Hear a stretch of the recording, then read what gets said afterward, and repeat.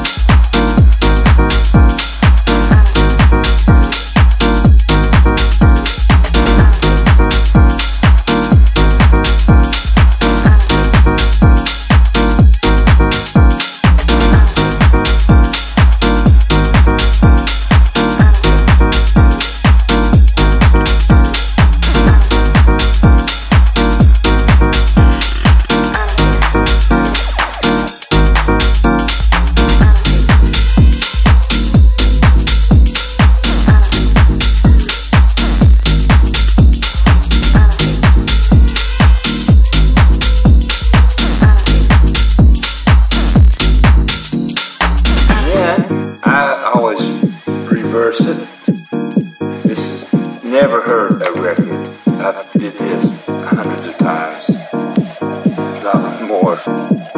Here you go. Now, uh. All right, this record's pretty dirty, so going to give it a little scrub. I usually let it set for a, a, a few moments to kind of let the alcohol do its magic.